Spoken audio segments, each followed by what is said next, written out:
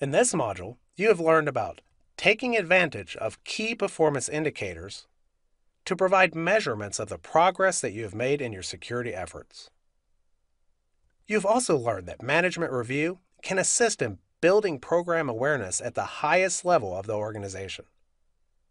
You have also gained information about collecting training and awareness related metrics that should be immediately useful to anyone that is running a security awareness program. You have also been briefed on account management and disaster recovery and business continuity concerns. The module was concluded with an overview of the factors involved with verifying that backups are working as intended.